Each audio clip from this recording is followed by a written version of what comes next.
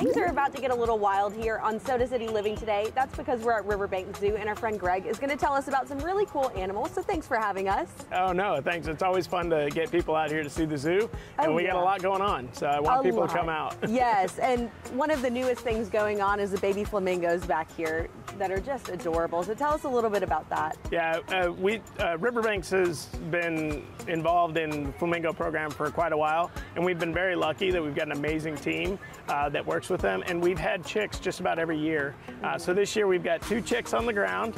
Uh, I think a lot of people come out here and they're very, very surprised when they see the chicks, um, just how fluffy they look. But those are feathers on, on that chick. It's not it's not fur, um, but it's a lot of fun for for our local community to come out and realize that the gem that is Riverbank Zoo is, you know, it's right here in town, and uh, you can come out and see baby flamingos, or you can go see sea lions, rhinos. There's a lot of stuff to see. Oh yeah, there's always something new here. And tell us what you do. You have a very interesting job. Sure. So my name is Greg Pesey. I'm the director of animal care here at the Riverbank Zoo, and I've actually only been here for about three years. I grew up in Charlotte though, and I've lived all over the country. I was down in Florida, California, Wisconsin, and I knew I wanted to get back to the Carolinas.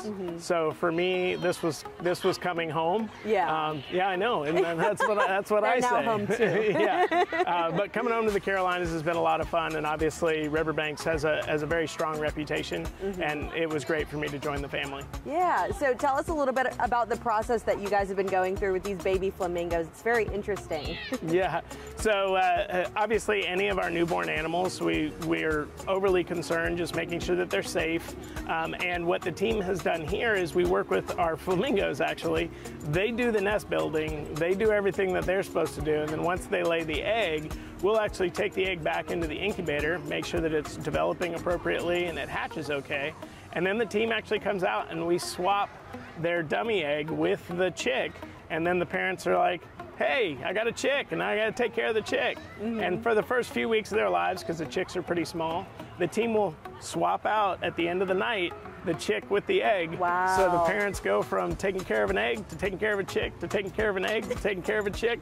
Um, so it is it is an interesting experience, and our team has actually gotten recognized in the AZA, the Association of Zoos and Aquariums. They've gotten recognized for the way that we manage the flamingo flock and the flamingo chicks. Oh my Um, so that's that's one thing that knowing when your peers in the zoo community are also saying.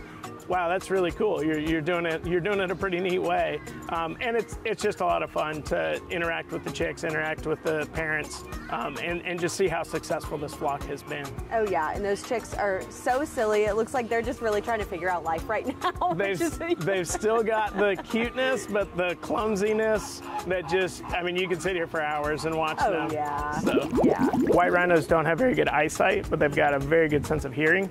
So you'll see those ears spinning around different directions, keeping an ear on what's going on all around him. Um, so checking out his surroundings with his ears, and then he relies more on his eyes when he gets a little bit closer. Um, their sense of smell is also really good as well. So um, white rhinos in the wild, they come from big open expanses of grassland, and one of the way they, ways they communicate with each other is actually through their dung. So they use a dung midden, where it's a general location where everybody goes and uses the bathroom, ah. and the male can pull a lot of the scents off of that, even though we think it's disgusting. There's a lot of hormones and a lot of other scents in there, mm-hmm. so he can determine not only is there another male in this area, if there's a female in this area, he can determine whether she's an estrus or not from some of those smells. So we can gain a lot of information from these animals from a blood sample. Mm-hmm. Well, getting a blood sample from an animal voluntarily, when you take your dog to a vet, they're just going to hold on to your dog and they're going to get the blood sample. It's not that difficult. Well, I can't do that with him. Mm-hmm. I need him to stand still. I need him to voluntarily say, I'm okay with you sticking me with a needle and, and getting a blood sample. So the team has actually worked on identifying where these veins and stuff are on the top of his foot. Oh, wow. So they can reach in and they can get a blood sample. Well, we've been able to successfully get the test tube of blood to run all the tests and everything we need to do for his exam. But the team has taken it one step further. They've actually had him standing still long enough that they've been able to fill a bag of blood.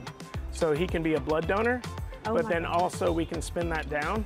And we now have in our freezer, we have a bank of plasma, and the plasma can be used to help sick rhinos, especially baby rhinos that maybe their mom rejected them and they don't get all the stuff, the antibodies and the stuff mm-hmm. they need in that, that first few days.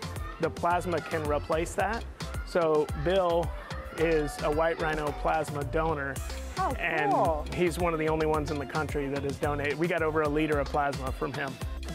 There was uh, somebody there at this conference from South Africa, from a rhino orphanage, and they actually came to her after the conference, to, after the presentation, to say, "Hey, I'd love to get more information because I want to be able to use that in South Africa for the rhino orphans." Um, and so my keeper was blown away. So Riverbanks impacting global conservation as well, just was something that we think is simple. To that rhino orphanage, it was not simple; it was life changing.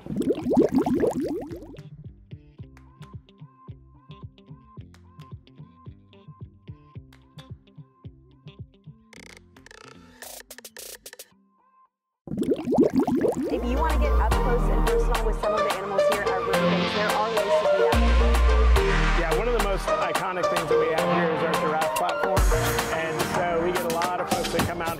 like, I just can't wait to feed the giraffe, can't wait to feed the giraffe. Um, but we have a lot more. There's uh, experiences where we feed the lorikeets. Uh, there's also a climbing wall. We've got the carousel, the sky high safari. So there's a lot of opportunities for you to come out and do more than just stroll around the zoo. Oh, yeah. And, and so here we, we call it explore more. And so yeah, you can get a wristband and you can uh, take advantage of some of these activities. But but definitely, I think the giraffe experience is, Oh, it is was a favorite. So much fun, and those greens that we're feeding the giraffes. Do the giraffe? Is it like a bottomless pit kind of?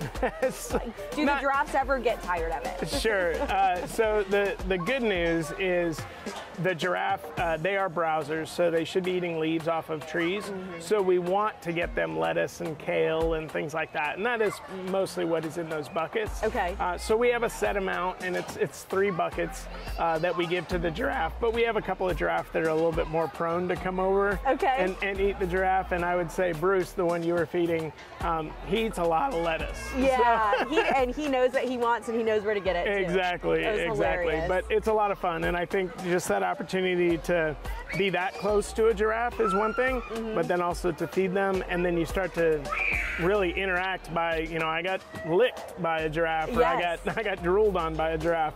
So you, there's not many places in Columbia that you can say you got drooled on by a giraffe. I So- can't think of any besides here. So, so yeah, it's a lot of fun. Definitely come out and come out and see it.